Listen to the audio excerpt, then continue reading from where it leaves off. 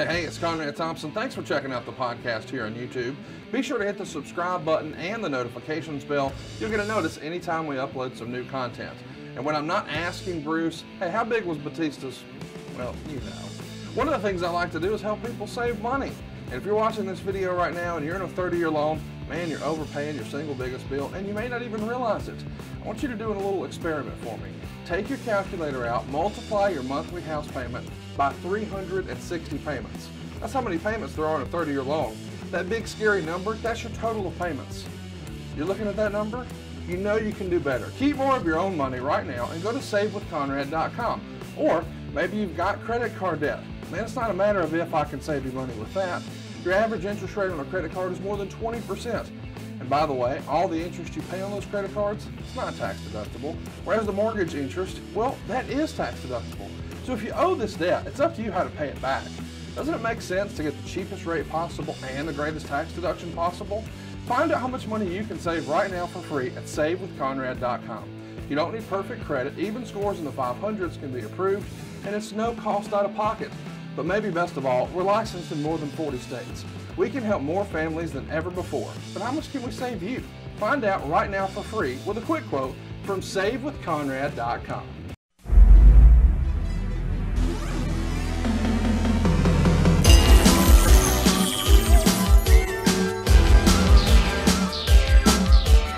The recognized symbol of excellence in sports entertainment. Hey, hey, it's Conrad Thompson. And how about this for something different? All the way back to the very beginning, the Nature Boy is with us. Ric, what's going on, man? How are you? I, you know, this is the second time I've seen you in a year. a month ago, it was in a bar for the first time, and literally I, almost a year. yeah. And so being the second time, and this third time is coming this weekend for the graduation. But anytime I can visit with you guys, I, I, I see you on all the podcasts. I see that you're supplying all the questions and answering most of the answers. so we're here, we're here today, but um, you know, what, what- I guess how we got here because we were talking about these um, uh, A and E. Uh, uh, yeah, the uh, biographies. yeah. yeah, it, it, it was fun. You know, you and I get a chance to catch up every now and again. And yeah, you said, "Hey, man, why don't we uh, why don't we just record some stuff and talk about it?" And I thought, you know what? When the Naitch wants to click record, we click record. So welcome to the pop up show. That's what we'll call it. All right, very cool. Well, I'm honored to be here. It's just um um I just uh you know it's funny because I those are the kind of things I used to watch with you. We would go somewhere and we wouldn't miss that. You know what I mean? Yeah. It'd be a weekend somewhere and like all the wrestling events, but um yeah, actually it, when you think you know everything and you've seen everything, uh it, it, it, there's more information provided and I thought that um, Austin's was, was incredible. Um, and the thing that if, if take all the brilliance of Steve's career away, if you just that one sentence, which I think Vince said something like that in, when he inducted uh, Steve, was what much how much money the company made Yeah. uh, in, in from one year to another. But it was like I, I can't remember, but it was in other words, he made a drastic change in the. WWE. Oh yeah, Period. it's been said over the years. I think the line is uh, Hulk Hogan made Vince McMahon a millionaire, and Steve Austin made Vince McMahon a billionaire. Yeah, exactly. Yeah. I mean, and, and that, and I take, um, I mean, I've always thought that, knowing that, but I, you know, once again, I wasn't there for the heyday with Steve. I was on the other end, and that horrible scenario that WCW was, you know, going through for so many different reasons. But um, yeah, you know, and for me personally, you know, and I didn't take any no, I didn't take any pleasure in this, but you know, it's it it it, it goes without saying. And I, I mean, even watching Booker's and not seeing Randy's, but knowing it, you you your marriages and your personal life takes a toll.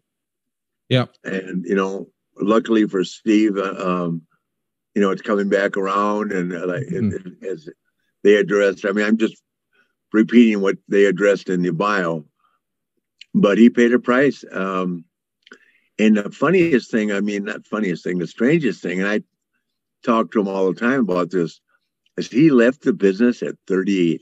It's unbelievable when you think about it. Yeah, I mean, literally, he left the business at 38. Well, we, where, how much money would he have made and where would he have been? You, you won the kinda Rumble like, you know- when you were like what, 40, 41 when you won the Rumble? 41. Yeah. Too old to be in WCW. Unbelievable. Yeah. Well, what He gave me- uh, he gave me enough time to grow my hair out. Cutting it off. Yeah. Hey, you you brought up Herd. You uh you had a chance to see the uh, Jim Herd interview I did. What'd you think all these years later hearing Herd say, you know, I thought we were friends. What, what, what do you feel about Jim Herd these days, all these years later? Well, it's not that we weren't friends. It, it's just that yeah, we were never friends. I'll, I'll, let's clarify that. But I certainly, you know, I tr- I tried very hard. I, I actually anticipated. Um, I, I I thought it would be good, um, but it just it went from if it was Ole first and then him. I can't remember the order. No, Ole was way after. I'm sorry. It's when I came back after I lost to Perfect. Um, Yeah. I, you know, I don't know what to say about Jim Herd. I just, you know, at this point in my life, I'm glad everybody is, if they're alive, they're alive. If they're happy and healthy, I'm happy for them. What about uh, Mr. Crockett? We That's just hair. Go ahead. I'm sorry. No, no, no. And, and then, of course, I told you that I got to talk to Jimmy Yes. literally an hour before he passed away. That uh, that is almost as strange and and hidden a story as the Von Erich story, the whole Crockett thing. And I don't know that you'll ever get all the facts. I mean, I, I saw it break down in front of my very eyes. It's not something that you want to talk about because, once again, you can't say anything negative because people aren't here to defend themselves which is um which is sad that's why you know i would never address anybody they can't defend themselves and at the same time it was so sad to see this company doing so well and all of a sudden just fall down Right. and uh i mean i was there dave johnson i can remember his name like i'm like i'm talking to you and stan uh he had a nervous breakdown Yeah. to go to the hospital from the office Wow.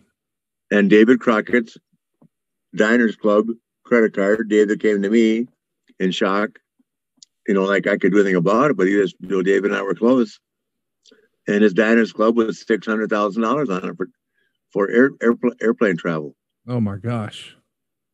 I mean, it was just that you know that's how they did it, and how this company went from making what I think of one year I can remember they said they made thirty-five or more, forty million dollars, which is a lot of money in the eighties. Oh yeah. Then they end up selling it for nine million dollars to Turner, just enough to cover the uh, the uh, the debts and get everybody square. And then they got all got a minimal salary except for uh, uh, Jimmy, who got who made himself a a special deal, which obviously led to the dissension.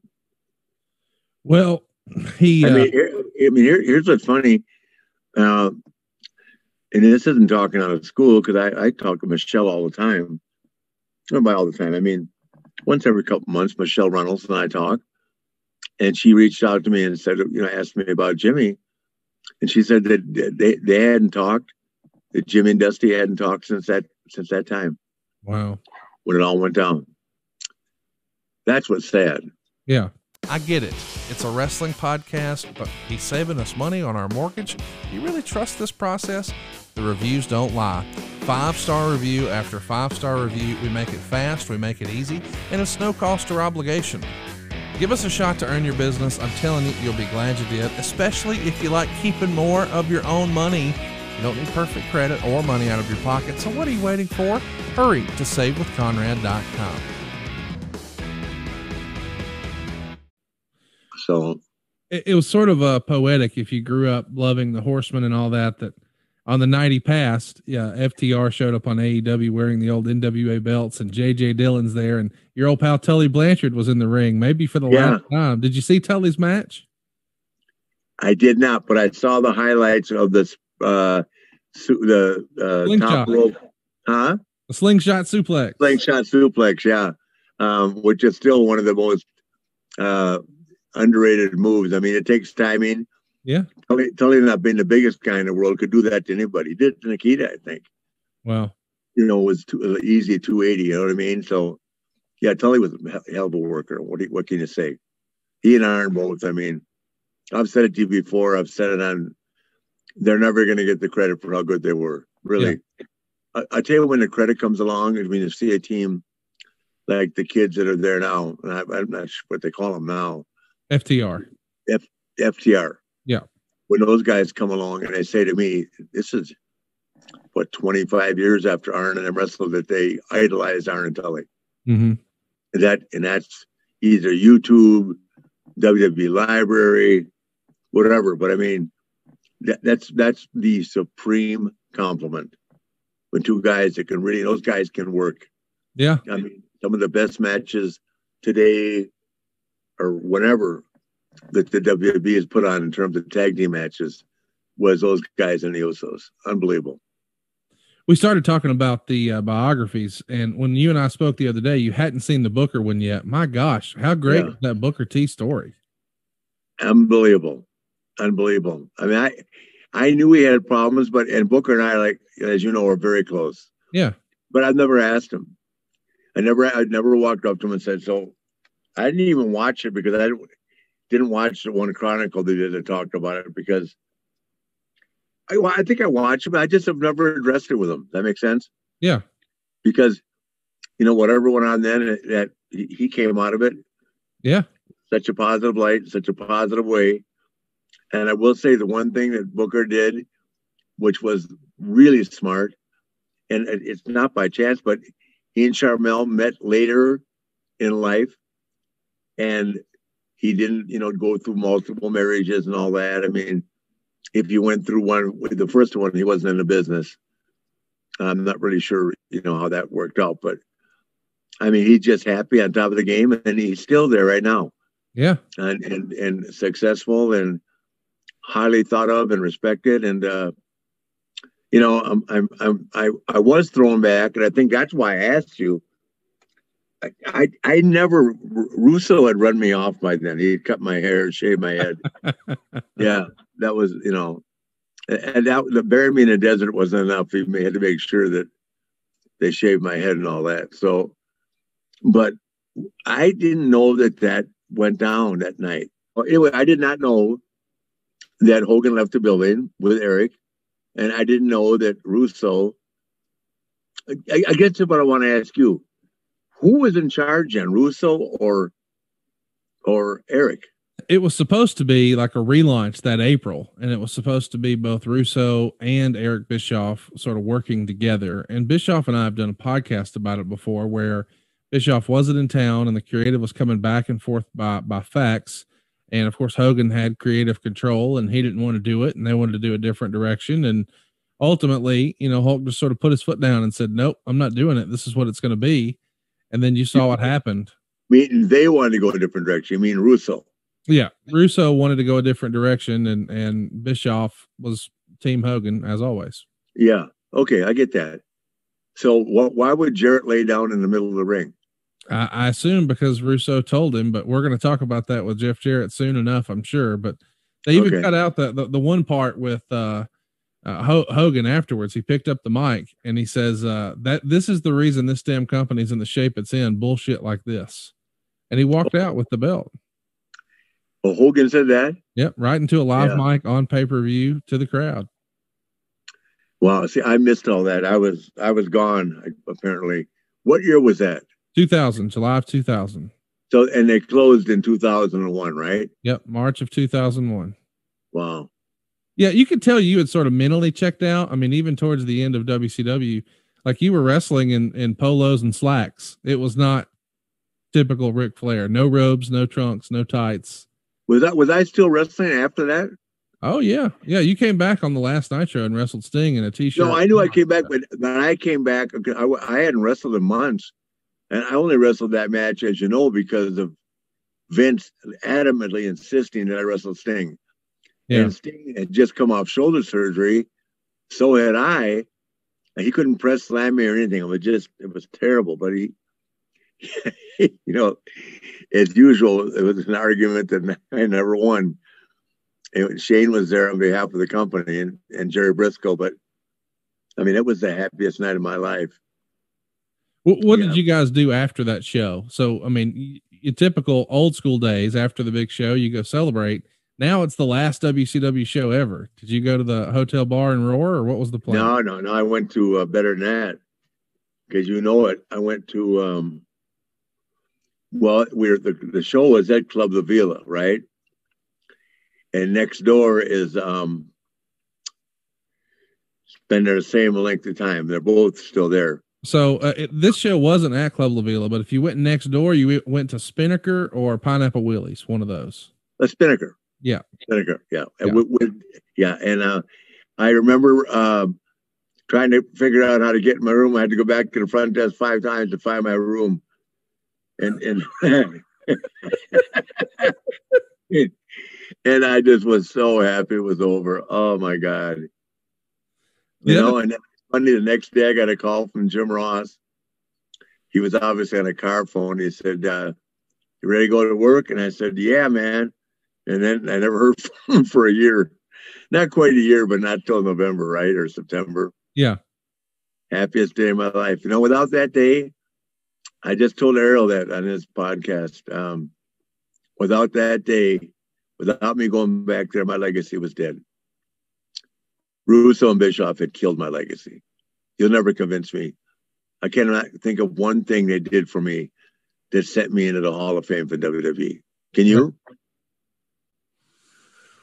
Uh, well, I mean, if you go back to the beginning of Hogan coming in, you and Hogan happening in WCW was a big damn deal. Oh yeah, I get that, but I'm saying that, that but it was a big deal only because I put Hogan over. Right. What if I'd said no? Right. Where would Randy Savage have been if I said no? Right. So it was all it was a good deal. You you can disagree with me if I'm wrong. I want you to. It's a good deal only because I would put him over. Right. And and you know why I wanted to put him over? To get a new contract? No, because I just wanted to be part of the show. Oh, there you go. I was so happy with just doing something that I didn't care who I put over, and I yeah. still don't. Yeah, I was going to say, and I don't, I don't regret it. I don't regret putting any of them over. Yeah, you used to say but, to me, uh, Conrad, I only won sixteen matches, which yeah, no, no, but that's not that's not the point. It, it, it's things like that match with Hulk, right? That I mean, Hulk turned around and told me that, uh, which I didn't know this a couple years ago, that that the money that that pay per view generated launched the real format to go out and become or launch them a, a new budget, let's say, to go out. Afforded them the opportunity to do Nitro. Apparently, yeah, whatever it was. Hulk, I didn't know that. Yeah, I didn't make a dime more. So, you know, I, but I didn't look at it back, and I was just so happy. And, and you know me, I wanted to go to have the match, have a great match, and go to the bar. Yeah, have a good time. You know yeah. what I mean? and I did, and I, and I mean, I, I've, I've, become more than close to Hogan. I don't, I don't, I don't regret any of that, and I'm always going to say that the promoters, the promoters are the ones that that build the bridges, and and, and you know, it's just a, it, it, it, it's it's the nature of the beast. Divide and conquer, or build the bridge, or give someone the impression you don't want to do this, do that and, and I won't. I, after being in the business, it'll be 50 years in November, but I got to make it to the next November.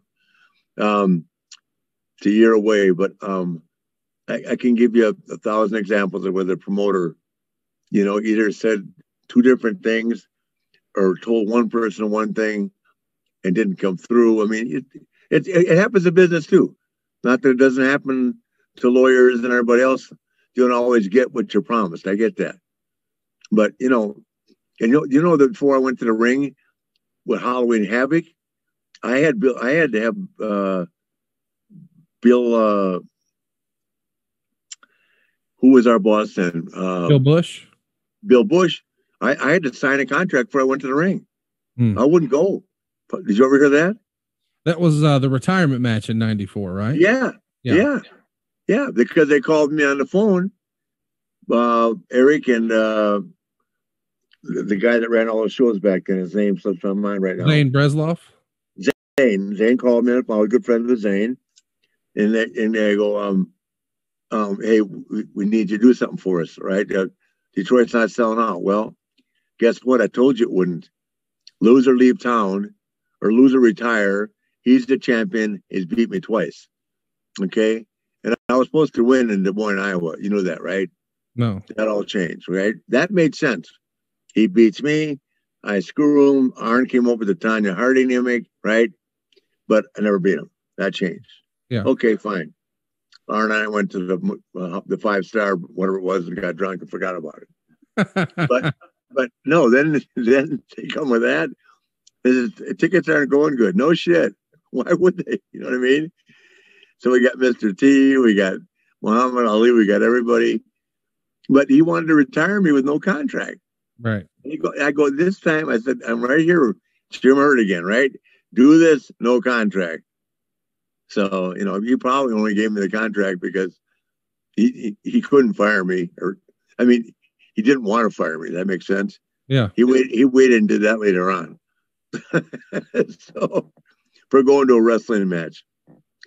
So, I don't know. It's all good. But anyway, the biographies have been great. And, uh, you know, life is just, I, I can't complain. I'm going to get to see you guys this weekend. Yeah. I sit there, I listen, and, uh, you know, something else I brought up to you, which drives me crazy, is that, you know, and I just told Ariel the things that that bother me the most sometimes is I am guilty. Like when I left, I, I said a lot of stuff in my book when I first got to, to WCW, you know, or to WWE.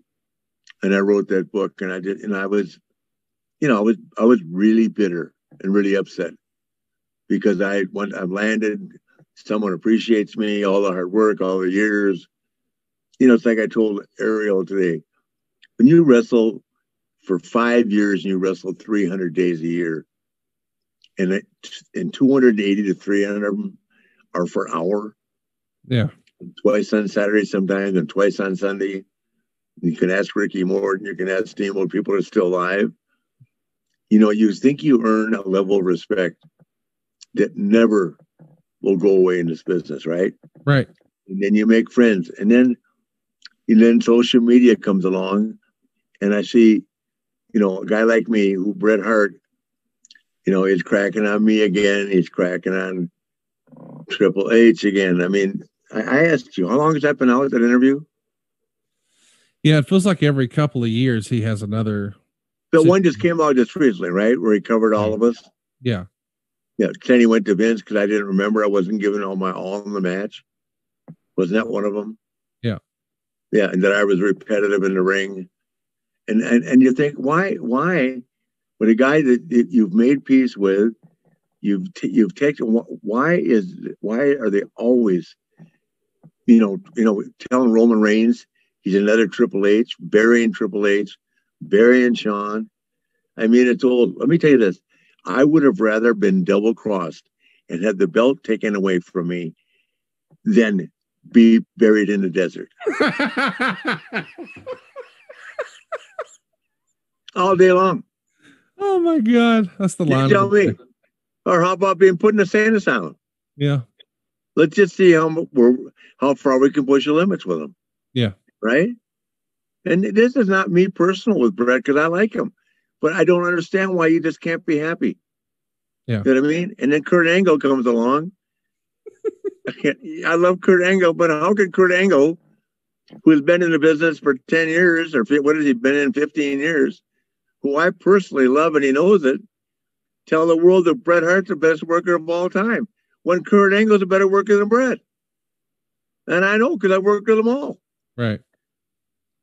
What, what's he thinking about? I, I think that's probably just like the one that got away. You know, Kurt got to wrestle Shawn. He got to wrestle you, and he never got to wrestle Bret. If, if you could go back and wrestle one person that you never got the chance, who would it be? Well, well, first of all, Kurt got to wrestle me when I was 55. That's true.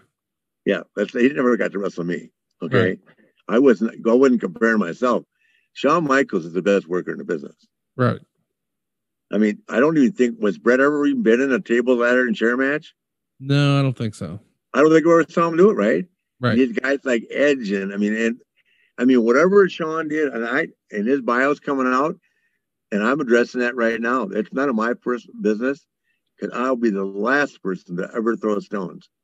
But what I do want to do is be able to walk into the building and not have people say, God, he's bitter, he's old, and he's going to continue to knock people. Yeah.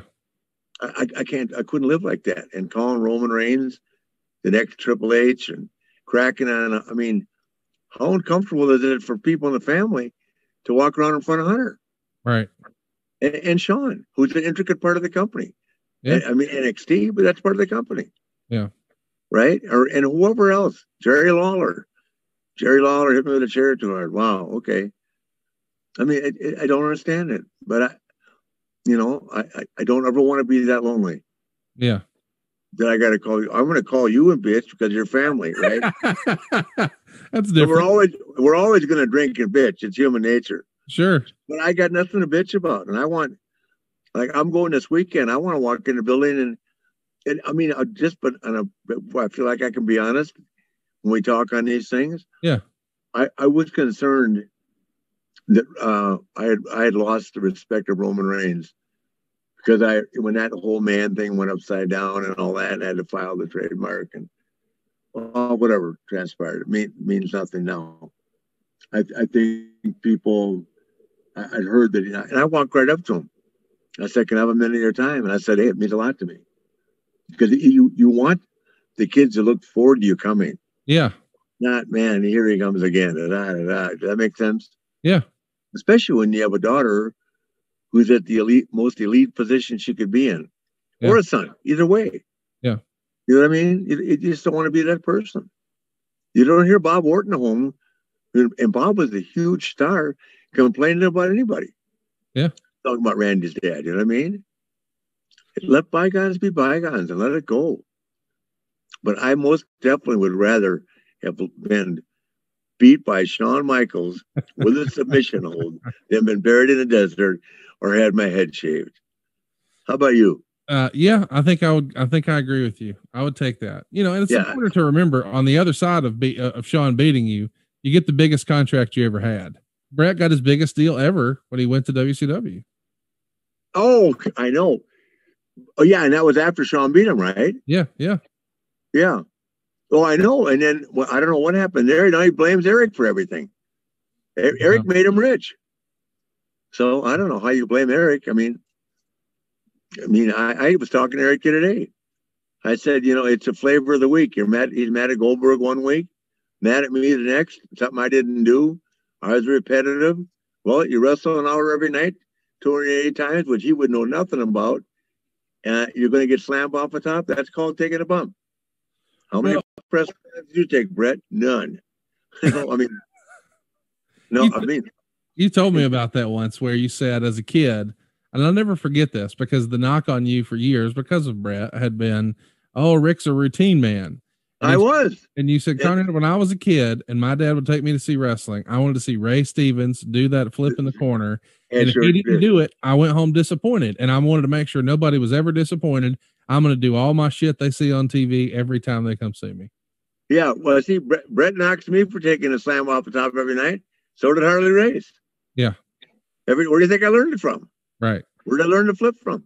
And when you're wrestling an hour every night, you are going to become a routine guy. Yeah. It, it just it's just because not everybody you're working with is a Bret Hart or a Shawn Michaels or a Ricky Steamboat. Right.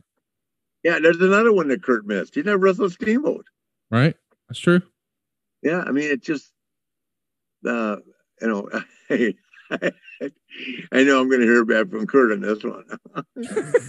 well, he thinks uh he thinks Randy Orton's one of the best wrestlers of all time, and you probably agree with that. He's probably Oh. I certainly, I certainly do. It, it, it, it but, but when ten years from now, these conversations you'll be having because you're just a young man with Randy, AJ, Roman, Seth, wh- whoever. You know what I mean? We'll be forgotten names. No, that's not true. No, no, I don't know. I don't mean forgotten. We're all going to have our places, but I'm more famous now. I mean, you could you can if you Google Ric Flair's most famous interviews, there's a whole bunch of them, right? Yeah. Point making is that, you know, I got football teams, hockey teams, college teams. I mean, it's you know, whatever I did, I must have done something right for all of them. you did. Somewhere along the line, somebody got it.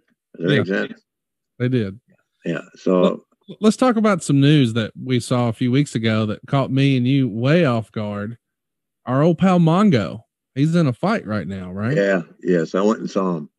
I'm going next Monday night too, after the graduation. They're having a big fun, not a fun, it is a fundraiser.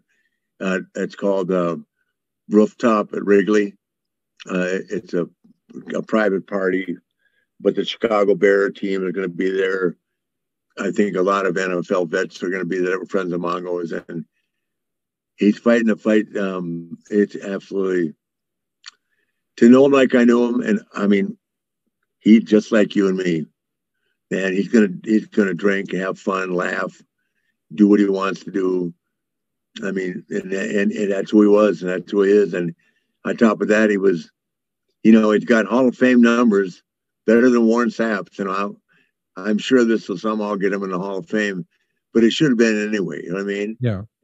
Um, but and what a personality, bigger than life. But to see him uh, from the time he made that interview that aired about a month ago, Mhm. he, he could move his right arm. He can't move his right arm now. Oh wow. He can move his, his right thumb a little bit, but it's you know that's I, I I look at when I was sick, and there was nothing, nothing that I um went through that would compare to that. You know, I'd rather if I had the choice, because you you know knowing that when I sat here four years ago, I told you I used to sit here and worry every day about dying because you've almost died, right? Yeah. And you, you all of a sudden you're aware that you're not Invincible. you're not invincible, which I always felt like I was, right? Mhm. And I and I can't imagine what goes through his mind every day, sitting there, knowing that he's he's you know he, he, he's got a, a life sentence. It, it's got to be and, and and and he still was telling jokes and upbeat and smiling and made me promise I'd do a keg stand with him at the, at the party, which I will against doctor's orders. Ah. By the way, if you're listening to this and you want to donate, go find uh, Team Mongo on GoFundMe.com. yeah, Two hundred thousand dollar goal. As Ric and I are recording, they're about one seventy nine. So every little bit helps. It goes straight to benefit Mongo's uh, recovery. So it's Team Mongo on GoFundMe.com. Something else that's in the news lately, Ric. Uh, Dark Side of the Ring. Have you seen that? The uh, Brian Pillman episode. You know, I went to the funeral, so I I have not seen that. Tell me what what what what's up with that. Well, you just get to see more of his personal life. You get to catch up with Melanie and his sister Linda, and you get to see all the kids. Yeah. No, I haven't seen that. Uh, um, I'll tell you this. Um, Brian was one of those guys that when I he would call me at two in the morning, three in the morning, and he would say to me, um, "You got the power. Leave. Hold them up." I mean, I can't even remember what it was. It was almost like it wasn't the same guy that I met Right. when he first came. I mean, just incredibly handsome, great physique, working son of a gun, right? I mean, just just the best. Uh, you know, and I don't know what happened along the way. You know, it's kind of like when I people will tell me, uh, you know, Sting, and I'm not bringing up something that he hasn't addressed, but I had no idea that um, some of the guys that were taking pills were taking pills or doing whatever. Yeah. Yeah, because I you just wonder what I- you, know that we're all looking for a way to decompress. You know, for me it was booze, and everybody had their own different variety piper. Uh, and they didn't. I, I'm really upset too with them. I had to send them an email. Andy did not tell one Piper Ric Flair story in his bio. Do you want to tell the uh, Puerto Rico story? nah, I'll tell you that one. hey, hey, when I, when I hear the kid is gone, I will. oh, I know which one you're talking about. I was talking about the spittoon. What, what you were thinking of? Oh, that's not Fort Red San Domingo. I wrote that uh, in my book. Well, catch everybody up in case they didn't read the book. Okay, so I used to wrestle a lot in the Puerto Rico area, that territory. As a matter of fact, a lot of people did. The big, the big cards down there were the Road Warriors, the Funks, myself, Brody, Hansen, etc., etc. But the main event guys, me being the world champion, Brody and Hansen being huge, um, everywhere they went basically, and um, so while I was there in Puerto Rico, Carlos said to me, "Do you want to go to San Domingo Sunday next Sunday and wrestle uh, Jack Veneno?" Well, you don't need a passport in in in San Domingo, and he said the guy goes, "You're gonna going to pay you five thousand dollars US." And I go, "Yeah, well, I got nothing else to do. I don't have to be anywhere till West Palm Beach Monday." And uh, um, so I get to the airline airport, Eastern Airlines, and you, don't need a passport to go to Puerto Rico. Yeah, you, you may now. You didn't back then. You don't. So I, I go and I get um, to the gate, and the guy goes, "Where's your passport?" And Carl said, "Where's your passport?" I said, "I didn't bring it. Well, I never do." So they I back off. They they grease the guy at the gate. I got on a plane. Okay, now I'm not even thinking I got to get home. Mm-hmm. Okay, so I go down there, get there, and uh, and only and and uh, the only one that went with me, Carlos didn't go. The invader went, um, Jose Gonzalez, but he took off and left me with George Napolitano, who's still living. George can tell the story. So we're at the top of the Sheraton Hotel, probably ten floors up, and George says, "Come look out the window here." And I look out the window, and they have a bridge in Santo Domingo, which is a city. I mean, which eh, in the city, and there were literally, if there was one, there was thirty thousand people. This guy is this guy five foot nine. He just passed away recently, by the way. Five foot nine, running across the bridge, training to wrestle me that night. Little tiny guy. So I go, God, the people are really with it, and they're chanting. God, I couldn't. Of course, Spanish, so I didn't understand. And uh, we get to the building, and there have sold, I guess, twice, maybe three times as many tickets as the building would hold 10,000 people. So they're having a riot outside. We're going, nobody spoke in English. And so uh, Gonzalez was coming back and forth trying to go. They wanted me to do what we call a Broadway, a, a draw, right? Yep. But they wanted him to have me in his finish which was a sleeper, raise the arm one, two, and the bell rings as my arm is going down. Three. Okay? No problem. Unbelievable. Unbelievable. Full scale riot. They thought he won the title. So the, the people are jumping in the ring trying to carry him around. Well, the referee goes to give me the title. I said, hey, I, I want it, man. Give it to him. It was a hot potato. He gave it to me. I gave it back to him. He gave it to me. I gave it back to him. they, I mean, literally, they beat the only. Like I said, Gonzalez came and got me because I wouldn't have fallen the aisle. But we got the shit beat out of us walking back to the dressing room. Let's say it's 25 or 30 yards, right? So now I leave the building without the title. Go back, get the title, celebrate all night long. And of course, I go to the airport with them and I go to my gate and they go because I'm going to Miami to go to West Palm, right? They're going back to San Juan. And I go down, and the guy goes, Where's your passport? I went, Oh my God. So I barely caught those guys. They were walking out on the ramp to walk up a staircase. This is before before uh, jetways, right? Yeah. And I caught those guys. I said, I got I can't go back to uh, the United States. I need a passport from here. So we walk back off, and they grease the guy, get me on the plane, back to Puerto Rico, boom, gone. Got the belt back. So dumb me. Of course, Carlos calls me and says that they want you to come back for a rematch. And I said, I only I only go take Piper to get that back. so Piper, we get there. this, these are the stories that they can't be made up. Piper's back is killing him. he said, I need some pain, something for the pain. So nobody speaks English. And I said, I'm not lying to you. And I swear this doctor, he, he, I'm sure he was a veterinarian. He brought in a syringe, like one of these, like the guy with a penicillin for a cow or something like that. Yeah. he stuck that, that 16 or 18 gauge needle in Piper's and shot that. Within an hour, Piper couldn't feel anything. so, and it's hard to get Piper down. So I was laughing. It made the only thing that made me laugh because it was crazy outside.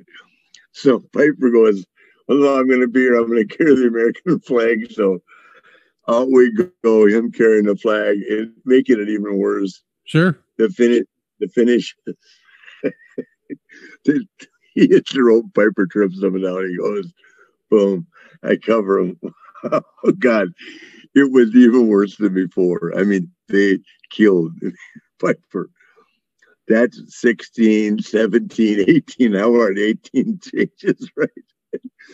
so we go, they finally get us out of the building, which they've literally almost dismantled.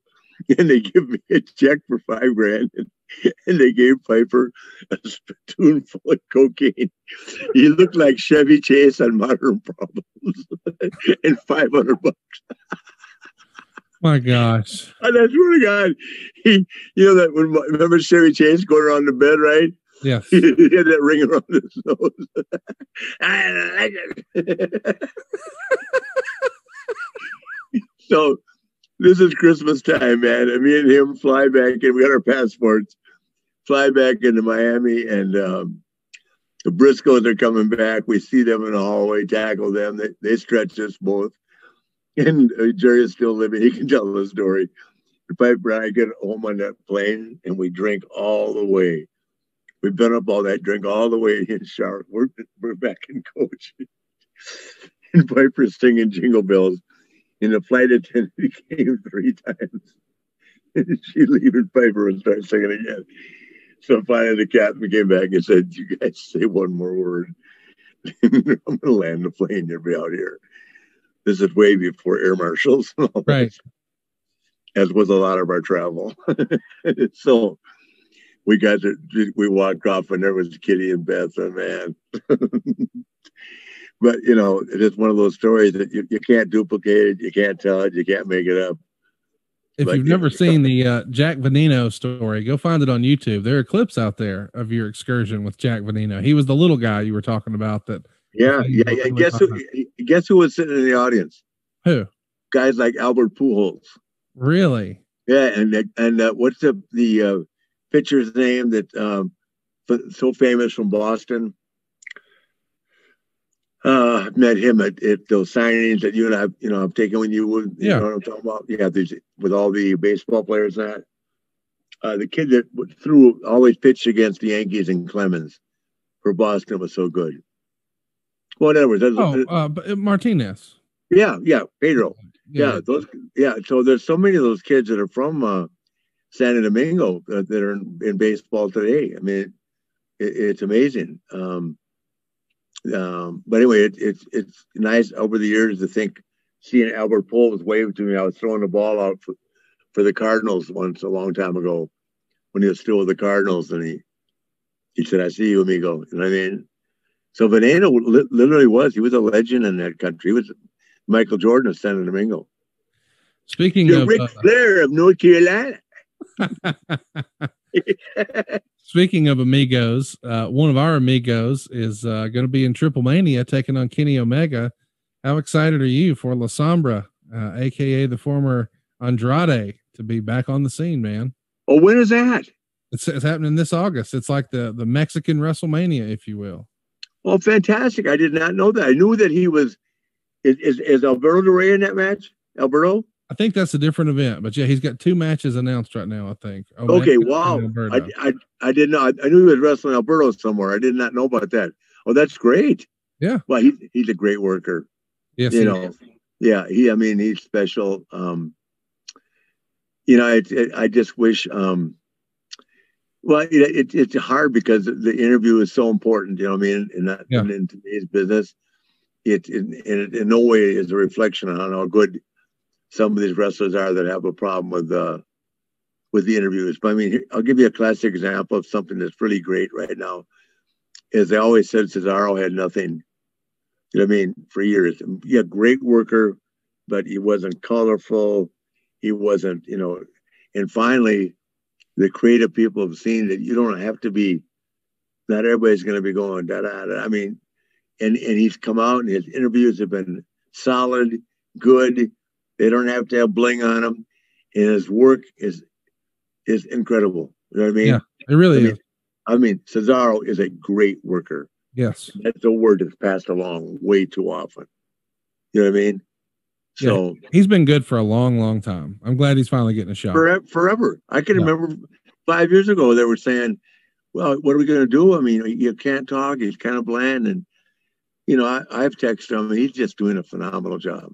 He is. And, and you know, sometimes it just, sometimes you just you you wear them out. You know, anybody that's adversarial, you wear them out by being so damn good. Yeah. Does that make sense?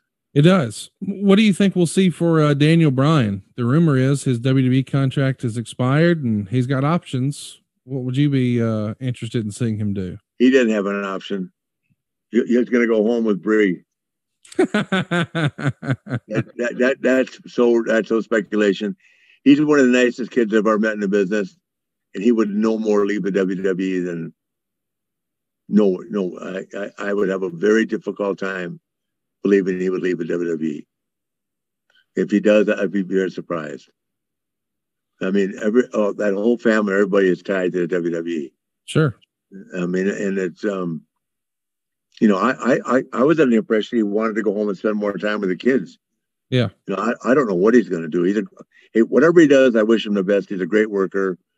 Um, and and just being very honest with you, I did not think, or I said that before. I've gotten in trouble that at his size he could make a difference, but he has. Yes, he did. He, he's made a difference despite his size, and he's and he really is a hell of a hand.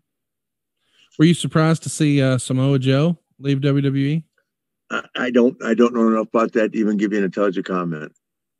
I, I didn't know. Uh, is he injured? I don't even know why he left or why they I'm- they gave him his release. Right? Yeah, I'm not sure exactly what's going on, but uh, he was one of my favorites, and I'm excited to see what he does next. And Yeah. I'm- also glad to hear that uh, your old pal Johnny Ace is back. You had a lot of fun times with Johnny over the years. Yeah, I did. Yeah. Well, hey, you know, it's the toughest job in the world. It's like being a boss of you. Like like you obviously because you have you have in the past. I think your mom and dad are retired now, but it's tough to have your friends working for you or your family. Yeah. Because you know, somewhere along the line, they're going to have a vision that's different than yours. Yeah. and ultimately, you're going to say, "Hey, this is not what I got in mind." Yeah. You know, or in the same would apply. And when they hire John, they brought him back because things had gotten out of control. You know, in some cases, the talent was, you know, basically trying to tell, you know, the promotion, not Vince to his face, but trying to run the show. You know what I mean? Yeah. And John is a, he's as diplomatic as he can be. He's as nice as he can be, but John can be tough. And he learned that by booking over in Japan. Right. You know what I mean? It's just when he got to the he got to WCW too late.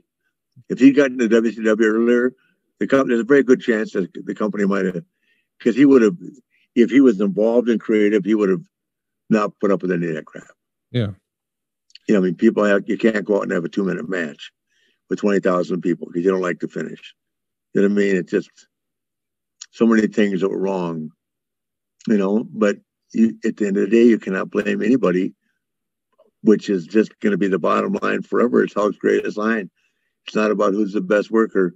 It's about who makes the most money. Yeah. Best worker, being the best worker is always just going to be a, uh, it's always just going to be a conversation. Banking the most money is it's a fact. Sure. Absolutely. Yeah. Well, he's replacing, of course, uh, Mark Carrano, a guy that you uh, have had a lot of fun times with over the years. Yeah. I know he's kind of a controversial figure right now, but you hate to see anybody ever lose their job. Do you think Mark has got wrestling out of his system now, or would you be surprised to see I, him I, come back? I'm going to tell you, I've reached out to him three different times and haven't heard a word back. So I basically have no comment. I, I don't know what to say. Yeah. And I, um, you know, I can't, in front of the bottom of my heart, believe that he was ever malicious. I, you know, who knows? Sometimes the job just gets too tough for too long. Well, It, I mean, look, it, it, it, I think it, it, dro- it drove Jim crazy yeah, and and Jim dealt with it when when it was really tough with a lot of egos. I mean, Yeah. you got Steve, you got The Rock, you got Hunter, you got Shawn. I mean, a lot of different egos in the clubhouse. you know what I mean?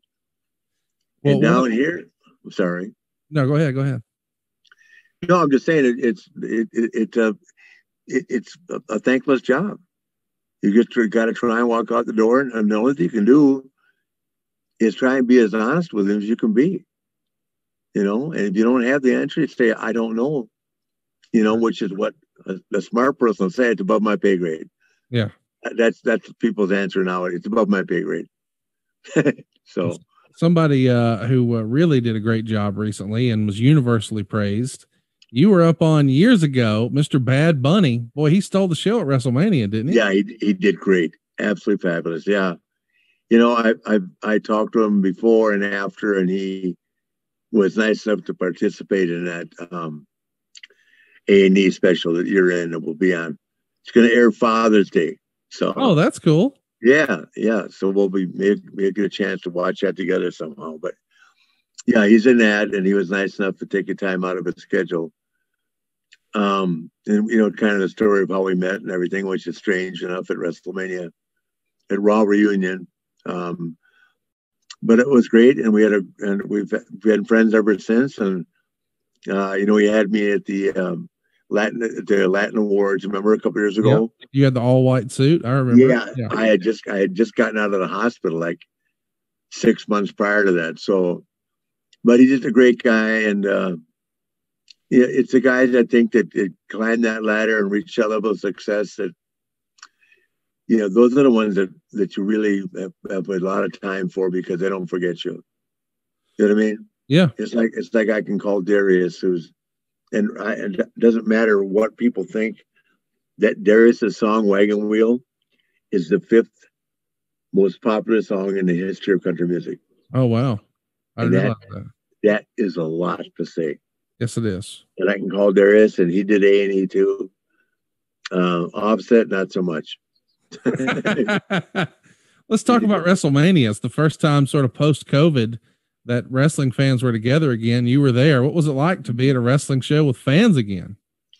Well, I went the second night. It was great. God, it was fabulous. And you know, and, and I mean, I thought it was as good a WrestleMania as I've seen. Yeah. All the matches were good. I mean, they didn't have a bad match on the card either night. Yeah. You know, some were better than others, but they didn't have a bad one. Mean, everybody got to enjoy the feeling of a live crowd.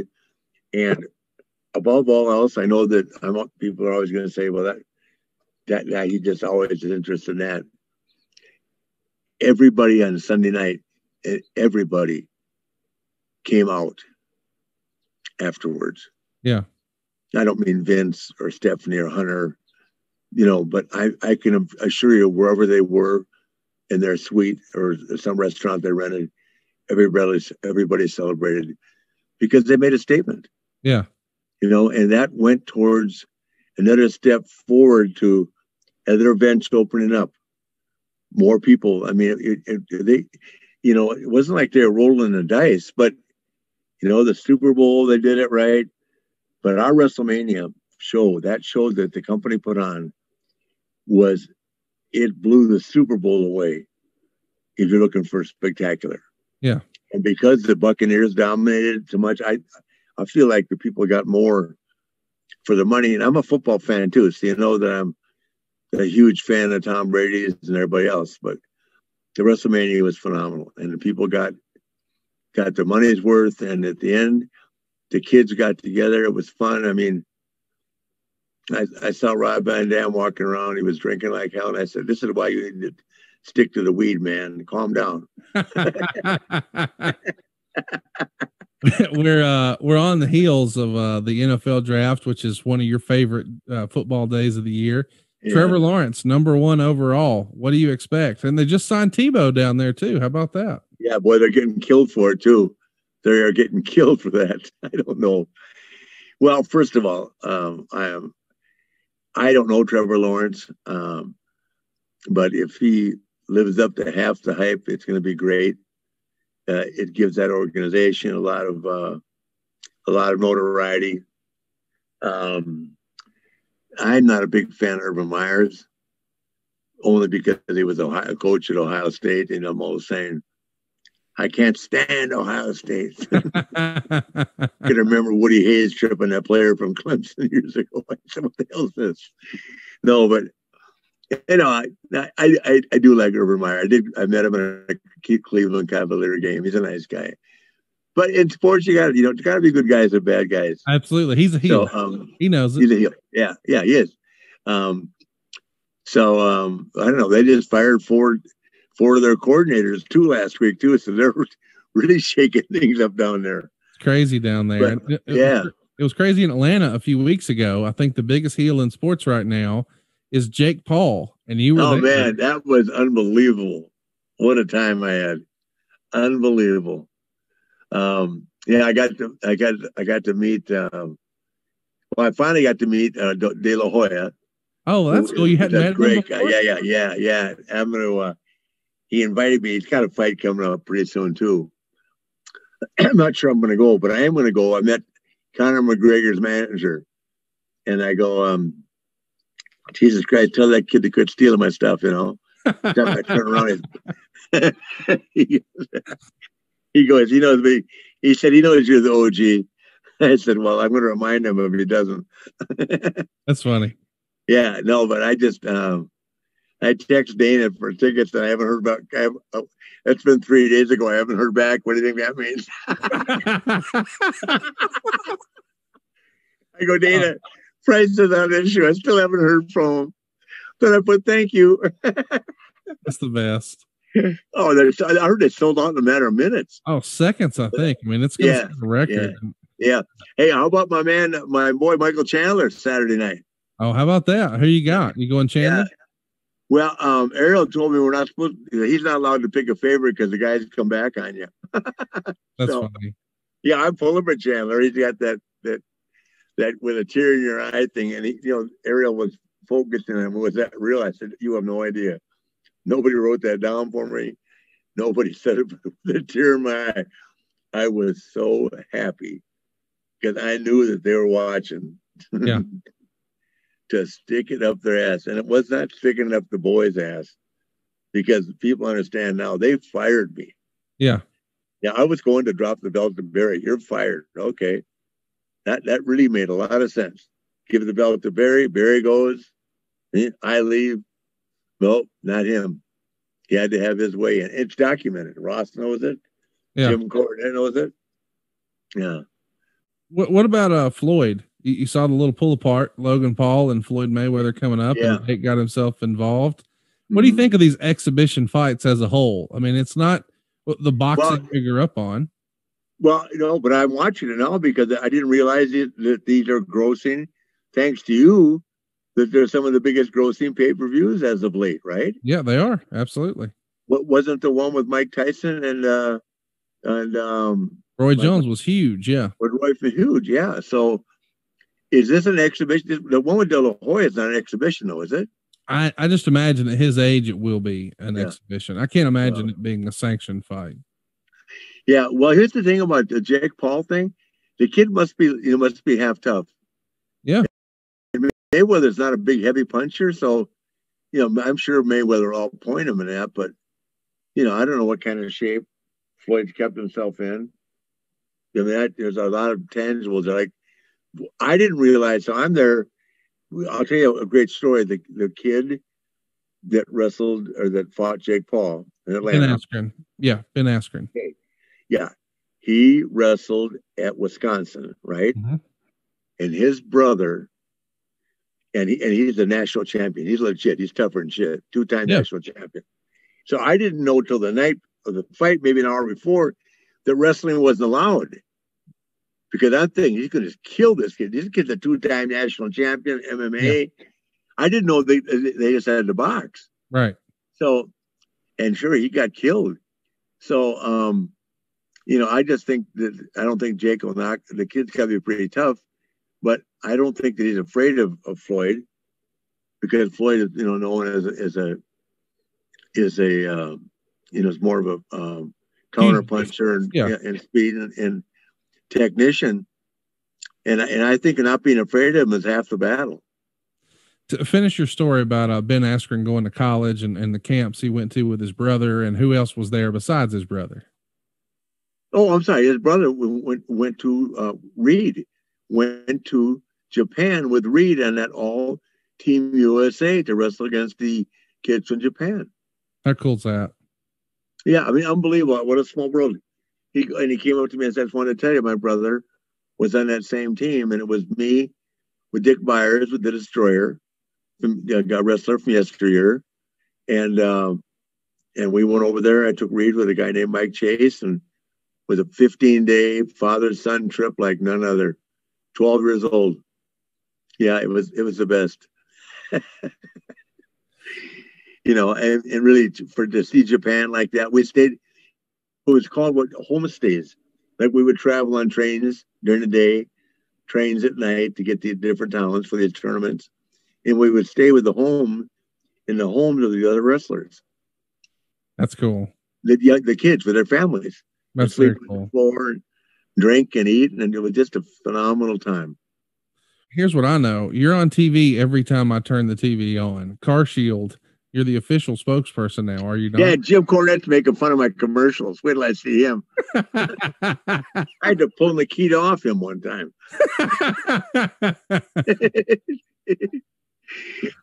yeah, it's lucky. I'm in a good place, man. Everything's coming together. So, and getting to see you and Megan this weekend is going to be really special for me. Let, let's I can't wait for let's brag about your household. Uh, Wendy's probably uh, bittersweet because now the uh, the baby's fixing to fly, fly the coop, so to speak. And and you guys have kids Yes. scattered all over the country in prestigious colleges. Let's brag on them here for a minute. Yeah. Well, I raised my third family. Yeah, How about that? Yeah. If you look at it, basically, because I've, I've been here nine years since they were so small. Sophia is going to graduate summa cum laude from Georgia. She's number one on the list um, uh, with the FBI, and the government's not hiring right now that that particular branch of the government. And she got other job offers, but um, and she's just going to sit and wait for the right one because she's so qualified right now. But uh, as COVID gets more under control, um, we all know that the world's starting to open up again.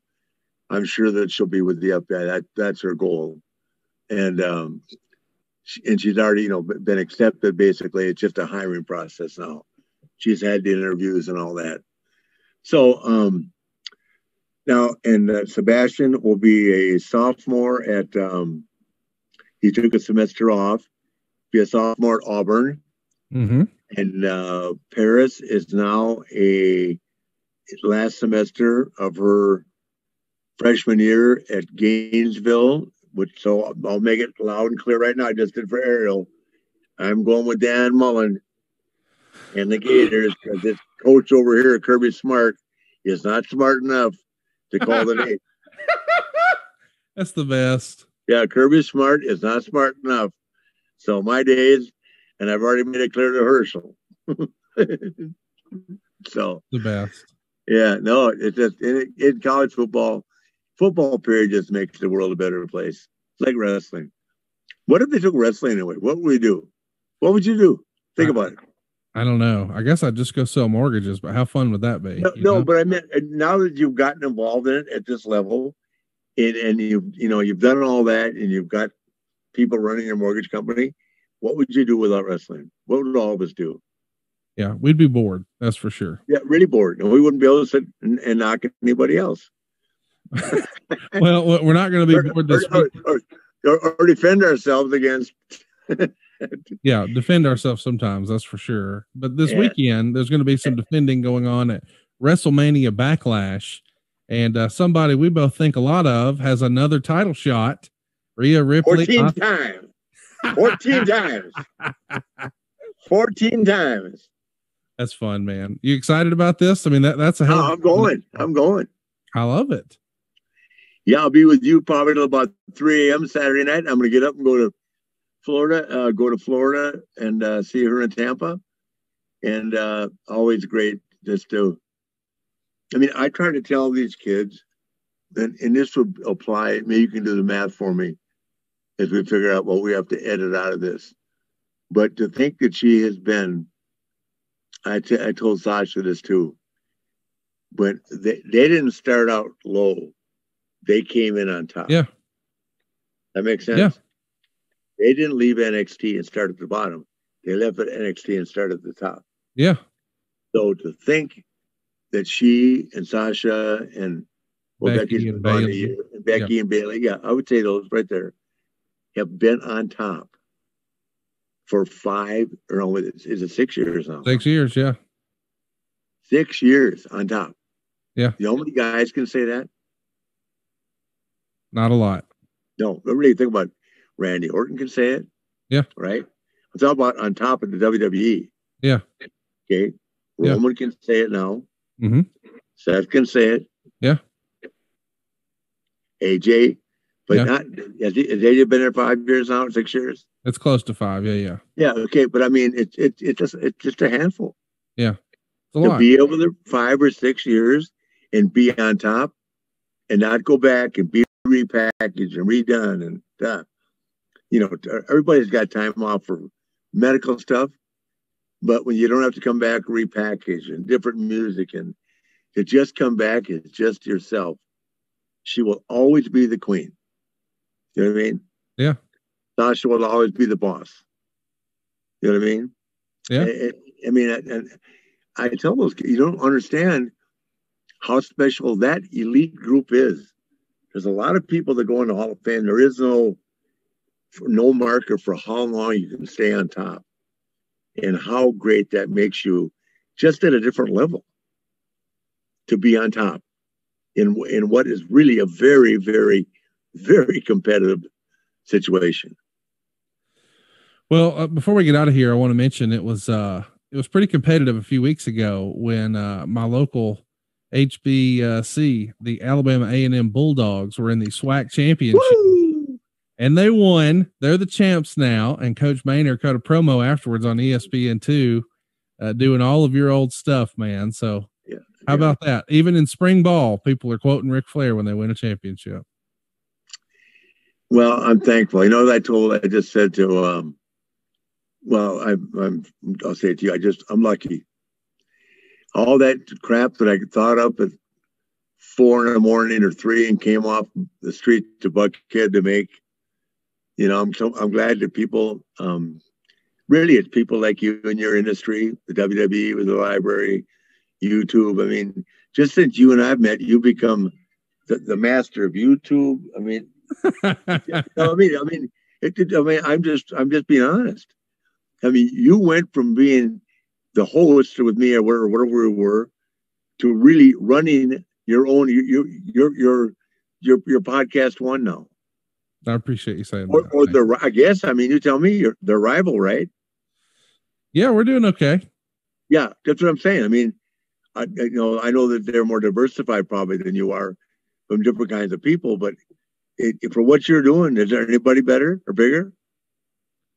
Well, I don't know that we can leave on a higher note than that. How about that? Hey, you know what Yeah. I mean, everybody's doing their thing and they're doing good. And you know, it's uh, you know, I think Kurt took a couple too many chair shots, and we'll get him straightened out next time you talk to him. Tell him I'm available to come on. Straighten him out about the Bret Hart stuff. Oh, absolutely, Jesus, come on, can't live with that. Good You know, you I got, uh I got said- more trademark sayings than he's got world titles. I love you for that. You said a minute ago all that stuff I used to think up at three and four in the morning. I'm lucky that uh, people liked it. You used to sing a little song about uh, throwing a coat in the corner. Play us out, Ric. Sing us a little song. All right, I'm on with Conrad Thompson. We'll be in Atlanta Saturday night. We'll be dancing all night. We'll be dancing a little longer. We'll be staying all night. We'll be staying a little longer. My God, if the girls are lucky enough to be with us and they're smart, they'll take off their dresses. They'll throw them in the corner. Woo, and they'll stay a little longer. Woo! I love you, man. See you this weekend. 16 times. Yeah. Yeah. Oh my God, you're the best. Thanks, dude. Was that the diamond cutter or was that DX? That's the X. We'll go with it though. Five times. The best, man. This was fun. Thanks, dude. I appreciate it. Woo! Tell Angle to stick to amateur wrestling, will you? Jesus.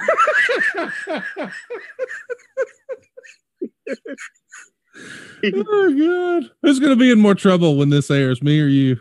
Why would he put himself down like that? Not like him. Oh my God, you're too much. Bye. See you, buddy. See you in a couple days. Okay, man. God bless. Bye. Bye bye. Hey, hey, it's Conrad Thompson. Thanks for checking out the podcast here on YouTube.